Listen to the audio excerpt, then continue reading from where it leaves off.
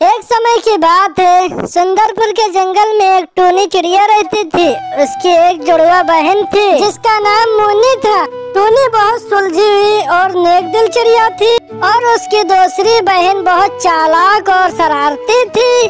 अगर कोई भी शरारत बुरा काम होता तो समझ लेना, इसमें हाथ मोनी चिड़िया का है। वो बहुत शरारती थी, पर डांट बेचारी टूनी को खानी पड़ती। एक दिन की बात है देख मोनी तू अपनी हरकतों से बाज आ जा। गलती तू करती है और डांट मुझे खानी पड़ती है। तो क्या हुआ?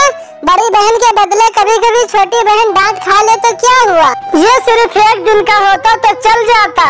अब तो हर दिन का यही तुम्हारा पैसा हो गया है। अब बहुत हो गया। मैं तुझे आखिरी बार वार्निंग दे रही हूँ। दोबारा अगर जो तूने गलती की है तो बुरा बहुत बुरा हो जाएगा। ठीक है ठीक है। मैं आगे से ऐसा नहीं करूँगी। टूनी ऐसा कहकर मोनी के कमरे में चली जाती है। टूनी के जाते ही मोनी पुराने अंदाज में आ जाती है और मन ही मन कहती है मोनी तो भाई इतनी जल्दी सुधरने वाली में से नहीं है। मैं तो भाई शरारत करती रहूँगी और तुझे डांट खिलवाती रहूँगी। ऐसे कुछ दिन बीत जाते हैं। मोनी को एक दिन बहुत ज़ोर से भूख लगती है। तो घर में इधर उधर खाना ढूंढती है। लेकिन उसे खाना कहीं नहीं मिलता तो मन में सोचती है, यहाँ तो कुछ मिल नहीं रहा है। क्यों ना मैं कालू कौए के आम के बाग में से कुछ आम तोड़ कर खा लूँ? हाँ ये सही रहे। ऐसा मन में ठान के वो कालू कौए के आम के बाग में चली जाती है और रसीले रसीले आमों को देख कर तोड़ती है। ऐसे ही खूब सारे तोड़ लेती है और उसे खा भी लेती है। तभी वहाँ कालू कौआ आ जाता है। उसे देखते ही मोनी चिड़िया वहाँ से भागकर और नीम के पेड़ के पीछे छुप जाती है। तभी वहाँ से टूनी चिड़िया उड़ते हुए कहीं जा रही थी। कालू टूनी को आम चोर चिड़िया समझ लेता है और उसे पकड़ लेता है। अरे चिड़िया कहाँ जा रही है?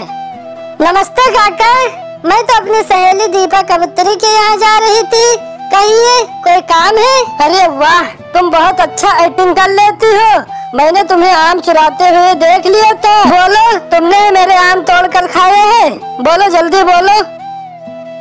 नहीं नहीं काका मैंने आपके आम नहीं खाया। मैं सच बोल रही हूँ मेरा विश्वास कीजिए मैं अभी यहाँ आई हूँ और मैं अपने दोस्त के घर जा रही हूँ। अच्छा अब चोरी करती हुई पकड़ी गई तो अब बहाने बना रही है। मैं, मैंने तुझे अपने बाग में देखा था और तू मुझे देखते ही भाग गई। मैं कोई झूठ नहीं बोल रही हूँ काका मैं सच बोल रही हूँ।